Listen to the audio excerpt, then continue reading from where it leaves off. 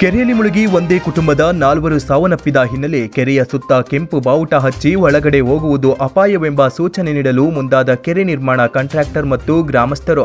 ಬೀದರ್ ಜಿಲ್ಲೆಯ ಉಮನಾಬಾದ್ ತಾಲೂಕಿನ ಗೋಡವಾಡಿ ಗ್ರಾಮದಲ್ಲಿ ದೇವರ ದರ್ಶನಕ್ಕೆಂದು ಬಂದ ಯುವಕರು ಕೆರೆಯಲ್ಲಿ ಮುಳುಗಿ ಸಾವನ್ನಪ್ಪಿದ್ರು. ಇದೊಂದು ಐತಿಹಾಸಿಕ ಸ್ಥಳವಾಗಿದ್ದು, ವಾರಕ್ಕೆ ಸಾವಿರಾರು ಜನ ದೇವರ ದರ್ಶನಕ್ಕೆ ಬರುವ ಸ್ಥಳವಾಗಿದೆ ಎಂದು ಪರಿಗಣನೆಗೆ ತೆಗೆದುಕೊಂಡು ಕ್ಷೇತ್ರದ ಶಾಸಕರು ಕೆರೆ ನಿರ್ಮಾಣದ ಕಾಂಟ್ರಾಕ್ಟರ್ ವಹಿಸಿಕೊಂಡಿರುವ ಕಾಂಟ್ರಾಕ್ಟರ್ಗೆ ಸೂಚನೆ ನೀಡಿ ಸಂಪೂರ್ಣ ಕೆರೆ ನಿರ್ಮಾಣದ ಕಾರ್ಯ ಮುಗಿಯುವವರೆಗೆ ಒಳಗಡೆ ಯಾರೂ ಹೋಗದಂತೆ ನೋಡಿಕೊಳ್ಳಲು ಸೂಚಿಸಿದರು.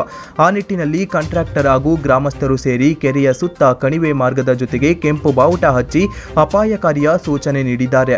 ಶಾಸಕರ ಈ ಸೂಚನೆಯಿಂದಾಗಿ ಮುಂಜಾಗ್ರತವಾಗಿ ಮಾಡಿರುವ ಈ ಸುರಕ್ಷತೆ ಕುರಿತು ಸಾರ್ವಜನಿಕರು ಮೆಚ್ಚುಗೆ ವ್ಯಕ್ತಪಡಿಸಿದ್ದಾರೆ.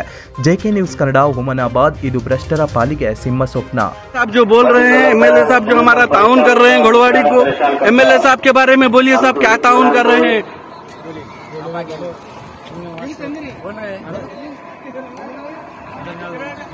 बोलिए बोलिए बोलिए। एमएलए साहब हमारे करे, कोई नहीं कर सकता। जो बहुत बोलते हैं, बोलने वाले क्या भी।